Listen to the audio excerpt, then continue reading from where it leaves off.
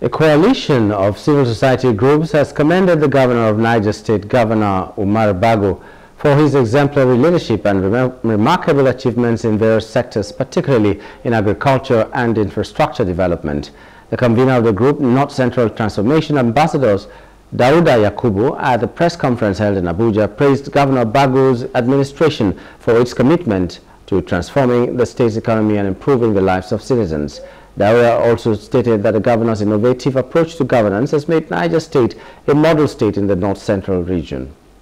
Governor Bago's administration took a decisive step by enforcing the 2022 revenue law, thereby consolidating the state financial account into a single.